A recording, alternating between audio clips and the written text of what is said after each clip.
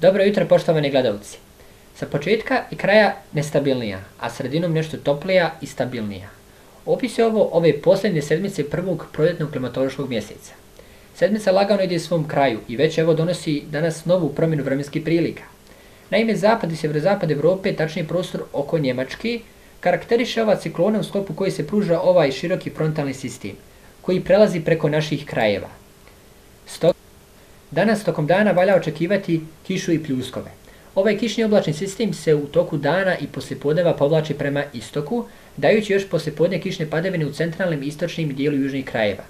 Pritom isto slijedi smanjenje na oblake i razvedravanje sa zapada. Najviše kiše u ovoj kišnoj epizodi se očekuje da padne u sjevernim dijelu južnih krajeva naše zemlje, tako lokalno moguće preko 20-30 litara po metru kvadratnom, dok u ostalim krajevima manji.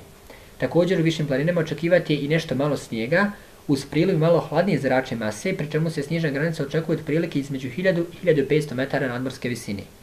Minimalna temperatura zraka između 6 i 10, na jugu do oko 12-13, a maksimalne temperaturne vrednosti u Bosni između 11 i 17, na jugu također moguće do oko 17 stepeni Celzija. U planinskim krajevima očekivati svakako nižu temperaturu zraka, pogotovo po prolazu ovih kišnih, odnosno snižnih padavine, kada bi se približila 1 ili 0 stepeni Celzija. A ovo razvedravanje što sam spomenuo bi bilo prolaznog tipa, jer bi nam već sutrašnji dan donio ponovo oblačni vrijeme, te uz više vlažnijeg zraka očekivati mjestimične pljuskove tokom dana. Jutro hladno i prohladno sa temperaturama između 1 i 7, a one dnevne najviše između 12 do oko 16 koliko se može mjeriti u sjevernim i južnim krajevima. Početkom iduće sedmice, to jest u ponedjeljak, bi na području oko Jonskog mora, to jest u sredozemlju, nastala ciklona uz nestabilnije vrijeme i u višim slovima atmosfere. To sve možete vidjeti i na ovoj karti atmosferskog pritiska izraženu hektopaskalema na nivou mora.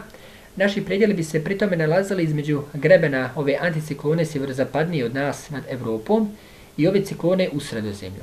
Velika razlika u pritiscima bi polučila i vjetrovitije vrijeme uz umjereni pojačan vjetar sjevernih smjerova u ponedjeljak i utorak, pogotovo na udare i jak.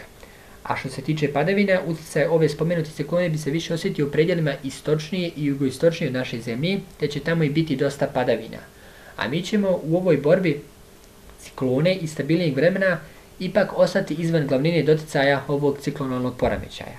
Tako bi ponedjeljak bio dosta oblačan, uz nešto malo padavina, kiše i u planinskim krajevima snijega. Međutim, dijelovi istočne Bosne bi poneviše osjetili ovaj uticaj spomenute ciklone, pa bi snijega moguće bilo i do nizina podrinja krajem ponedjeljka, odnosno u noći na utorak, usred priliva hladnije zračne mase.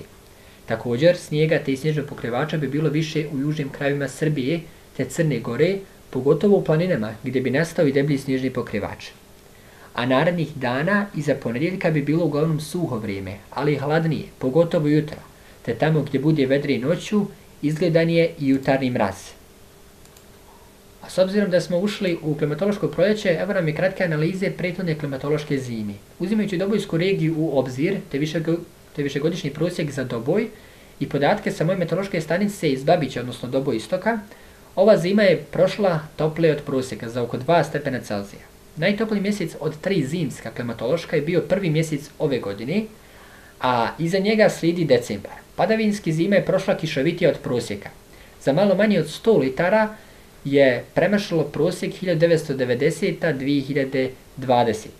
A što se tiče snijega, nije bila nažalost tako snjegovita kao što su nekad neke bile, čak i daleko ispod od tih snježnih zima kao na primjer 2012-2013. godina. Do sutrašnjeg priloga, lijep pozdrav!